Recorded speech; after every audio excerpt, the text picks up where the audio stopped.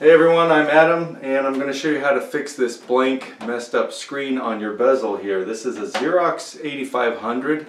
The 8400s don't have this problem as much but the later models seem to have it more often.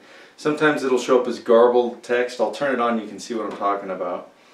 And um, normally I like to fix everything if I can. In this case you can get a free replacement bezel and uh, even if you're not the original owner and even if it's out of warranty you can still get one. So don't worry about it. It's not a big headache luckily. Usually things like this are but this one uh, it's not as bad as it seems. When you call Xerox they're going to ask for the serial number and it's right down here. It says SN and uh, the number you're going to need that info. Also what model number this is. Now this here just says 8500 but if you look on the back it shows 8500 slash 8550. So that's what this is. Now let me turn it on and I can show you what it's doing.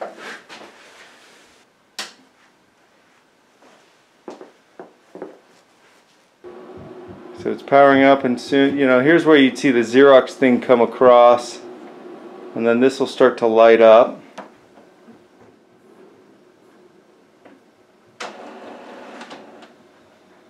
Alright, now the bezel's on. You can see it's lit up here, but there's absolutely no image at all. So, I'll show you how to pop this one out. Alright, before I take this out, uh, to get the replacement, you're going to call the number in the text below this video. And uh, if you need to click more info or whatever, you can see all the text that's typed there. And then once you dial it, you're going to push extension 1, extension 1, and that gets you to the right department. You're going to tell them again what model number you have and then your serial number. And in this case, I bought this used. It's way out of warranty. I'm not the original owner. And, uh, and I told them that when I called them. And so, because uh, this pulled up under the old uh, owner's company name. And then, so they switched the uh, ownership to me. They typed in my info and, uh, and replaced it on their system. And then they sent this absolutely free, no shipping uh, charge, nothing. And they even overnighted it. So less than 24 hours ago, it hasn't even been 24 hours, they sent me this replacement. So that was awesome of them. I think the problem is this is a known issue. They used to be re uh, reliable, but um, they must have switched to a different manufacturer or something. But something happened where these started to be flaky. So I think they just said, okay, everybody gets a replacement if they call up for one. Because I found about uh, getting replacement in a forum. Uh, there was a blog post from 2008, and this is 2014 right now. So, um, a long time ago. So I tried it, and it worked. So to get this off, it's super easy. You don't need any tools. You can open up this, that'll help. And then you just kind of wiggle your fingers underneath here.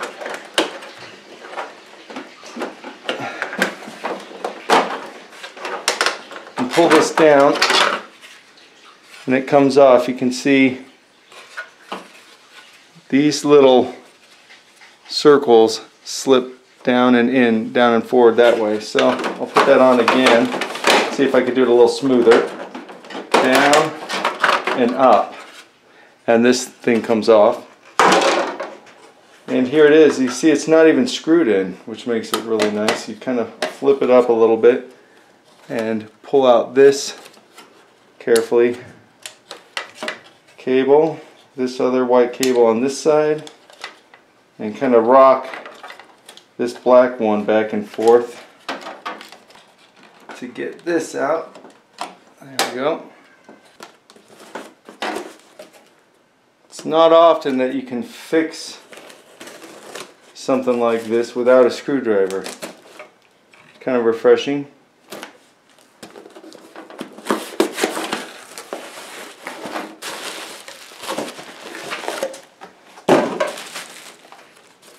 Well, they even give you some instructions, huh?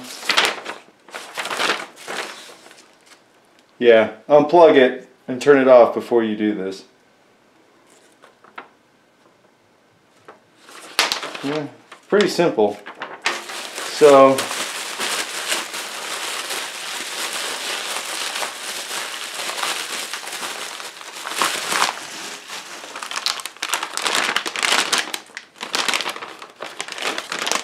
Alright, and here's our new one.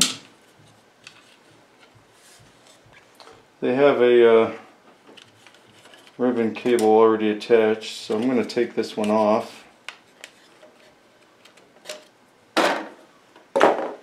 So I got one right here.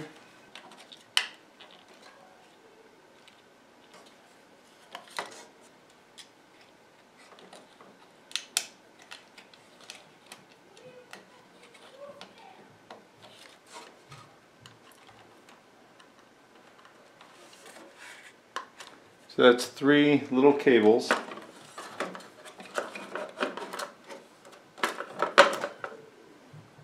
It just sits there. Doesn't click in or anything. Alright again, so I'm going to line these round pegs up with this slot on both sides. And that's it. Whole thing's done.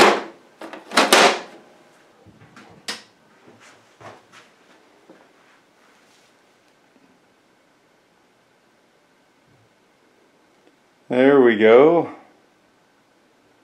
That's a real confidence builder.